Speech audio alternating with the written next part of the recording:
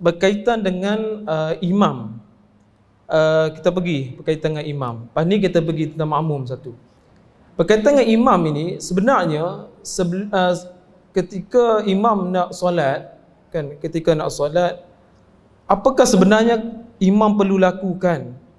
Uh, adakah uh, hanya sebut istau ataupun sawu sufufakum sahaja tanpa memerhatikan sebagainya ataupun apakah sunnah-sunnah yang sebenarnya imam perlu lakukan ketika nak solat berjamaah. Fadhal tu. Okay, Alhamdulillah Salatu wassalamu ala rasulillah wa ba'd Berhubung dengan soalan tadi Iaitu saya fahamnya ialah apabila Satu orang imam duduk di depan lah, Dan makmum berada di belakangnya Di dalam soft kan? Di dalam soft ha? Jamak dia sufuf Bukan dalam sauh Sebahagian orang ni perbetulkan sauh, bukan sauh. Sauh tu sauh kapal. Perbetulkan soft. Bila makmum di belakang, imam di hadapan, apa yang imam buat di dalam sunnah? Kalau kita lihat kepada hadis-hadis Nabi sallallahu alaihi wasallam, kita akan dapati begitu banyak riwayat ungkapan-ungkapan Nabi yang Nabi sebut sebelum baginda salat berjamaah. Saya sebut yang ungkapan dulu. Antaranya hak selalu untuk imam dulu sebutlah. Sawu sufufakum. Betulkan sah. Kan? Akan. Ataupun istau. Luruskan.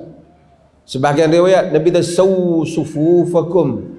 Fa inna taswiyatas sufufi min iqamatis salah sebahagian riwayat fa inna uh, taswiyatus saffi uh, min tamamis salah banyak riwayat.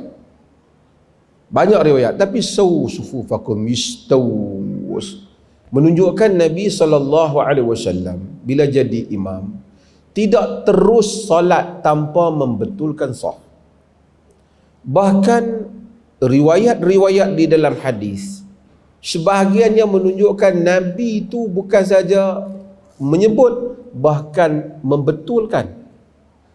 Wa kana yamsahu manakibana fi salat Nabi perbetul bau-bau sahabat ni dalam solat Nabi perbetulkan dia kata kama yusawwi bihal qidah. Macam Nabi ni perbetulkan tu apa batang kayu panah kan? Hatta ra'a qad aqalna an. Sehingga nabi lihat sahabat ni dah faham dah. Ha, nabi tak apa dah nabi sebut. Tapi dalam riwayat hadis sahih muslim dia kata satu hari dalam hadis riwayat tu dia kata nabi qama kada uh, yukabbir hampir baginda nak takbir tiba-tiba datang satu orang Fara'a rajulan badiyan sadruhu fi. Dia tengok satu orang Nabi nak takbir dia tengok satu orang terlebih dia tu kehadapan sangat di dalam saf. Nabi kata? Ya ibadallah la tasuwunna sufufakum aw la yukhallifanna Allah baina wujuhikum. Wahai hamba-hamba Allah, perbetulkan saf. Ataupun nanti Allah akan membalik-balikkan hati kamu. Dan Nabi pun betulkan soft Nabi pun betulkan. Maksudnya nak semayang dah gaya nak takbir tengok soft tak betul.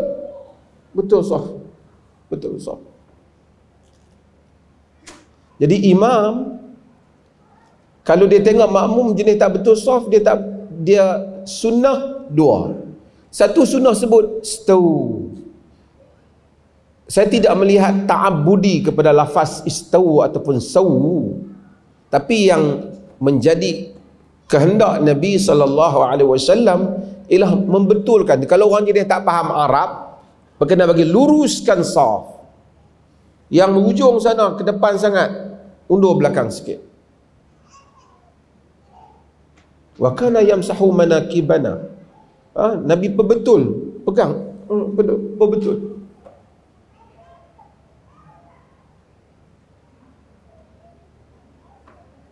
dan ini menjadi sunnah. Dan Nabi SAW kata sawu sufu fakum betulkan saf kamu. Dan imam menjadi sunnah macam saya sebut tadi dia duduk di depan dia tengok di belakang Nabi tak apa Nabi boleh tengok daripada belakang. Ha? tu pun Nabi tengok. Nabi ni Allah bagi daripada belakang pun nampak. Itu adalah kelebihan baginda sallallahu alaihi wasallam. Tapi imam dia bukan saja sebut dia membetulkan saf. Kan wala takhtalifu.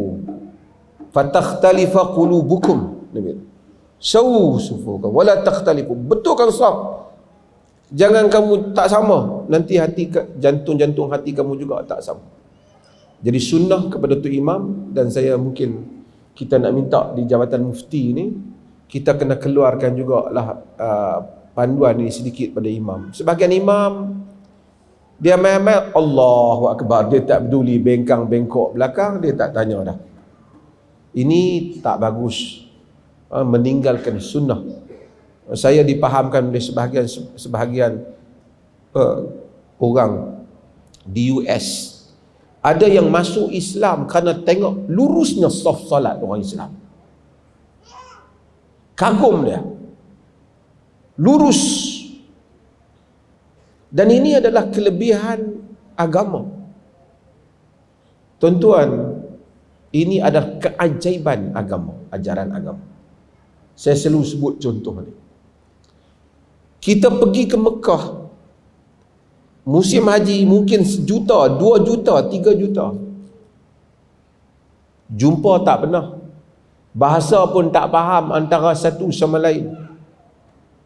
Nama apatah lagi nak kenal. Tetapi apabila Allahu Akbar, Allahu Akbar, iqamah saja, 3 juta manusia duduk dalam. 3 juta manusia, luruskan saf. Duduk. Mankib bi mankib. Wa qadam bi qadam. Bau dengan bau, kaki dengan kaki. Sama. Umat yang satu. tak ada kita pelajar pelajar pelajar universiti. Ni sebahagian yang kuip ke apa walaupun kita universiti tapi kalau nak ambil hari convocation kita kena rehearsal. Kan? Ialah nak naik macam mana? Dalam dua rehearsal tu pun kadang-kadang kita silap. Orang Islam, orang kampung reti membaca, tak reti membaca. Tapi sepatutnya baksaf Allah dia tak fikir, dia tahu macam mana duduk dalam saf. Hanya yang tak reti agama aja yang pergi duduk seorang-seorang dia di belakang. Sebab itu kita lihat saf adalah merupakan keajaiban didikan Islam kepada kepada umatnya. Inna Allah yuhibbul ladhina yuqatiluna fi sabilihi safa. Allah suka kepada orang yang berperang pada jalannya secara teratur, terurus. Dan kita mudah-mudahan kita meluruskan saf dan imam sebelum salat bukan saja sebut sawu sufufakum dia juga melihat kepada saf. Bahkan dalam riwayat Nabi masuk di dalam celahan sejalahan soft itu untuk memastikan sahabat-sahabat meluruskan soft mereka. Dan mungkin lepas pada ini kita nak kena bagi taklimat lah pada imam-imam seluruh negeri Perlis ni supaya bukan saja terus Allahu Akbar tengok sama belakang pastikan semua luruskan sah. Ha? Saya faham dipahamkan macam saya kata tadi ada orang Uh, bukan Islam dia menganut Islam dia tengok orang Islam solat dalam penjara yang masuk Islam kagum dia masuk Islam straight tambah Mak Saleh bila baru masuk Islam kadang-kadang dia pun bagus dia pun suka benda ni disiplin Kita kadang-kadang minta maaf orang perempuan sini tak. Kadang-kadang orang perempuan. Kalau boleh dia nak sedepah. Jangan orang dekat dengan dia. Dia nak buat macam musim covid. Hangat, hangat. Kata, hangat. Ha? Dia tak mahu nak rapat.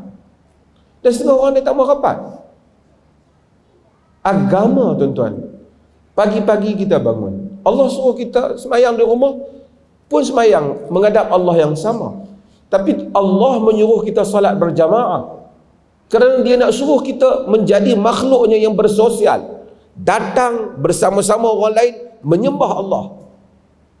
Tiba-tiba datang kita meluat. Tak mau rapat dengan orang. Sebab tu disuruh kita datang masjid pakai wangi-wangian. Bersugi, jangan busuk.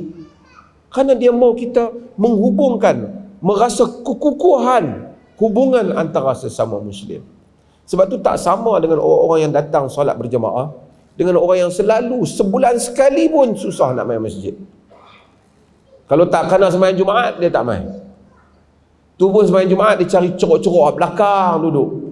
Masa qamat dia duduk last sekali ujung. Dan ada orang kita dia tak suka duduk soh depan. Fadilat soh depan ni banyak dia tak suka. Dia kalau sembahyang dia duduk belakang.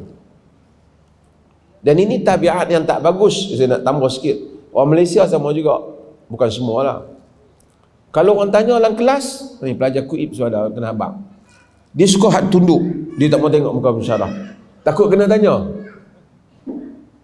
Dia suka duduk di kelas di bahagian belakang. Kok dia selamat daripada pensyarah jumpa dia. Saya pensyarah USM tu. Saya memang tabiat saya akan tanya student yang duduk belakang. Student duduk depan selamat. Duduk belakang dia memang kena soalan. Jadi dia akan main duduk depan lah. Saya tahu. Siapa duduk belakang saya tanya. Kerana tidak ada keyakinan diri satu hal, tapi kita agama kata soft depan. Pahalanya banyak. Ha? Sabiqu ilal khair. Okay. Terima kasih.